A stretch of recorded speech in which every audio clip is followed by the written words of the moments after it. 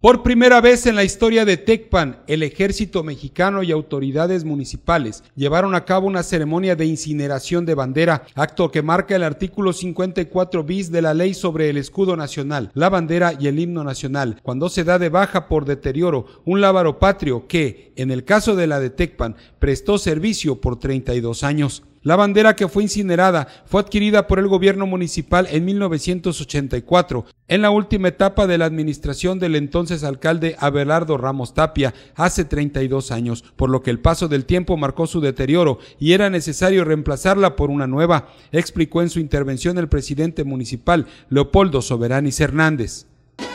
Sin duda, como lo decíamos en el mensaje, es un día histórico para nuestro ya de por sí histórico municipio y sin duda esta es una ceremonia cívica de alta relevancia por la honra que se da a nuestro lábaro patrio que conforme a las disposiciones legales hicimos la ceremonia de incineración con toda la solemnidad y el respeto que ello involucra y que son las disposiciones que emanan de la ley que para ello está establecido. Vemos que hubo buena respuesta de parte de las instituciones, de la ciudadanía.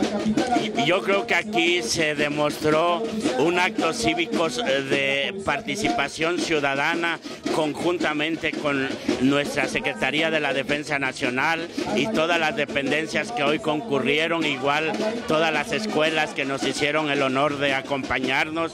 Entonces, sin duda, fue una bella y hermosa ceremonia. Yo creo que nos removió desde lo más íntimo de nuestro ser, ¿verdad? Porque yo creo que cuando hablamos de nuestros mayores símbolos patrios, a cualquiera nos conmueve lo más íntimo de cada uno de nosotros. Y es una ceremonia hermosa. Por cierto, la primera en la historia del municipio.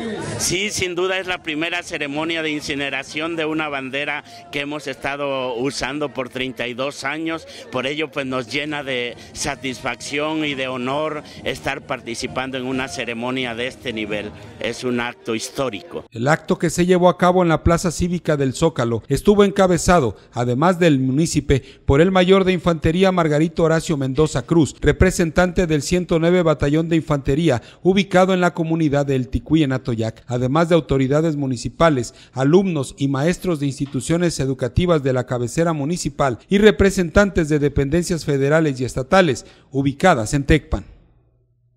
Informó para Canal 6 Rodolfo Valadez.